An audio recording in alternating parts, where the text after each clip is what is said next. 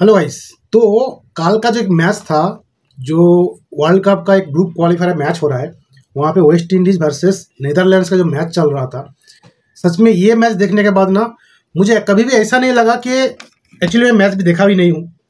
But ये जो match का जो स्टैट्स वगैरह अभी देख रहा हूँ मतलब समझ में नहीं आ रहा है कि शायद मैं कोई जो कोई जो है इंडिया ऑस्ट्रेलिया का मैच देख रहा हूँ, या फिर इंडिया श्रीलंका का, या फिर Sri Lanka India England England Australia का मैच इस तरीके से होता है ना तो हम इस तरीके से मैच है समझ में नहीं आ रहा कि किस तरीके से इन लोग जो है कल खेला है।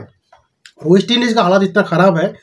मतलब ख़राब नहीं बोलूँगा, एक तरीके से जो है नीदरलैंड्स बहुत ही अच्छा खेला है बट इस तरीके से हम इससे पहले मेरा बचपन से अभी तक शायद मैंने चार वर्ल्ड कप देख लिया है, और चार वर्ल्ड कप में, चारों चार वर्ल्ड कप में देखा है। कभी कभी छोटी छोटी टीम है ना, जो नामीबिया केनिया नीदरलैंड्स स्कॉटलैंड इस तरीके जो टीम्स है ना, ये कभी ना कभी एक बड़े बड़े टीम को हरा देती है। ये कि मतलब एक बहुत अच्छी बात है। बट काल के दिन में जो है नीदरलैंड्स टॉस जीता था और टॉस जीतने के बाद नीदरलैंड्स जो है बॉलिंग करने का डिसीज़न लिया, ठीक है? फील्डिंग करने का डिसीज़न लिया।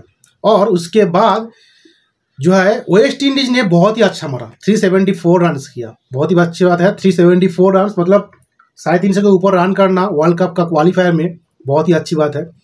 ब्रेंडन किंग ने 76 मारा, जॉनसन चार्ल्स ने 54 मारा। निकोलस पुरान ने 104 मारा 104 रन का एक पारी था। 65 बॉल में 104 रन मारना, नौ चौका और छः छक्के के मदद से। और वहाँ पे ब्रेंडन किंग ने 13 फोर्स मारा मतलब 52 रन तो आ गया है सिक्सटी सेवेंटी सिक्स का, जो पारी है उनका। कीमो बॉल में एक बहुत अच्छा कैमियो लगाया 25 बॉल में 46 रन बनाया, चार चौका, दो छक्के की मदद से। तो यहाँ पे नेदरलैंड्स ने एक एक्स्ट्रा जो रन दिया था, वो दिया था ओनली 14 रन ऐसे में जो लोगन भैन बिग है, जो कि नीदरलैंड्स का एक बॉलर है मतलब क्या बॉलिंग है, क्या बैटिंग है, सच में मतलब देखने वाला चीज़ है। उसके बाद नीदरलैंड्स का बैटिंग शुरू होता है, यहाँ पे विक्रमजीत सिंह ने 37 रन किया मैक्स ओ दाऊद ने 36 रन उसके बाद तेजा निदा मानूरू ऐसा कुछ नाम है, जो कि 76 बॉल में 111 रन मारा। बहुत ही अच्छा बात है। इसमें से ग्यारह चौके थ्री छक्के थे। थ्री छक्के। थ्री सिक्सेस स्कॉट एडवर्ड्स जो कि कैप्टन है विकेट कीपर भी है, उन्होंने 47 बॉल में 67 रन मारा। इसमें से छः चौके और एक छक्का भी शामिल था। काल अगर अपने आयरलैंड का सॉरी नीदरलैंड का और वेस्ट इंडीज का मैच देखा ना शायद आपने पहले से कभी सोचा भी नहीं हो कि नीदरलैंड जीत सकता था। अगर अगर आपको मालूम चलता था कि नीदरलैंड जीत जाए जीत जाए करके तो शायद आप जो है लॉटरी का टिकट खरीद लेते थे। तो ये था आईसीसी क्रिकेट वर्ल्ड कप का क्वालिफायर मैच 2023 का सीज़न है और प्लेयर ऑफ़ द मैच बन गया है लोगन वैनबिक ने। सच में, कमाल का कमाल का प्लेयर है। तो वेस्ट इंडीज का इस तरीके से हालात जो है इतना खराब है अभी, शायद जो है इस वर्ल्ड कप में हम वेस्ट इंडीज को देखने वाला नहीं है, क्योंकि group A and group B दोनों जो है क्वालिफायर राउंड चल रहा है और उसमें से जो टॉप टू टीम है, वही आएगा। क्वालिफायर करके मेन टूर्नामेंट में। ग्रुप ए का टॉप टीम है जिम्बाब्वे है और नीदरलैंड है, जो कि जिम्बाब्वे ने चार मैच में चारों मैच जीत गया है, आठ पॉइंट्स लेके बैठा है और नीदरलैंड में चार मैच में तीन मैच जीत गया है, एक हरा है छः पॉइंट लेके बैठा है। यहाँ पे वेस्ट इंडीज ने जो है चार मैच में खाली दो ही मैच जीता है, दो मैच लॉस्ट कर दिया है।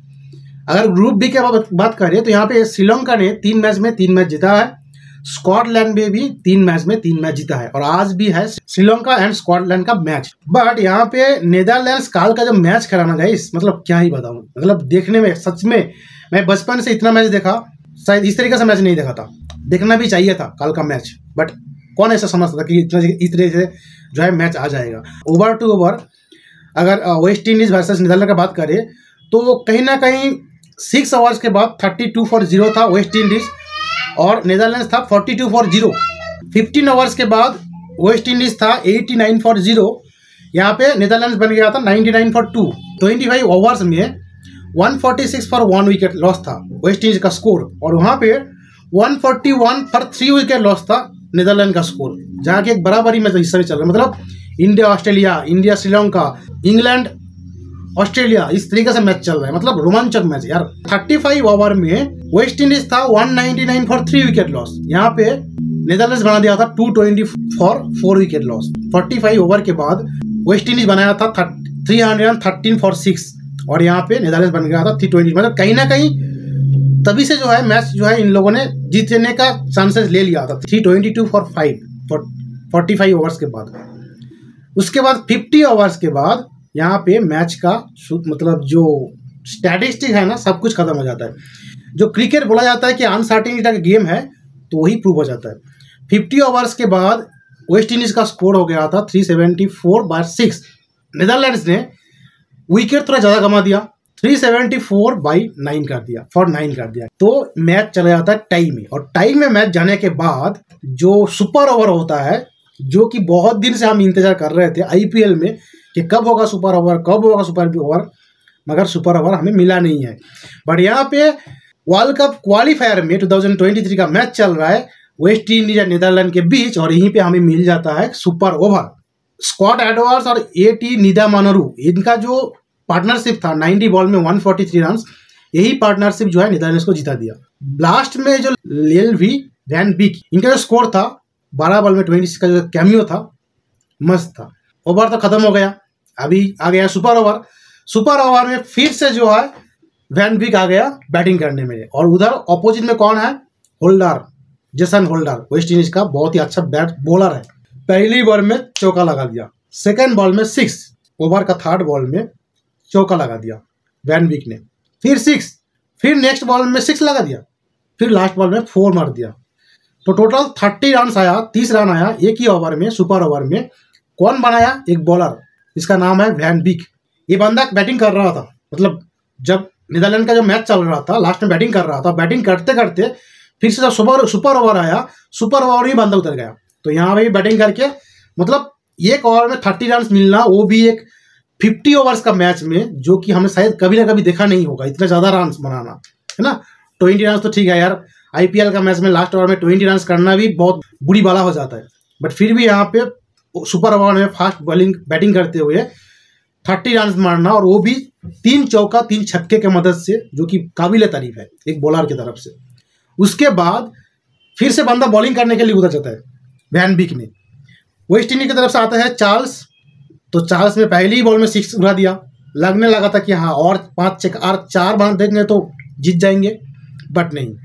नेक्स्ट बॉल में एक रन मारा, फिर नेक्स्ट बॉल में एक रन मारा। जो फोर्थ बॉल था, वहाँ पे बंदा आउट हो जाता है। जॉनसन चार्ल्स ने आउट हो जाता है।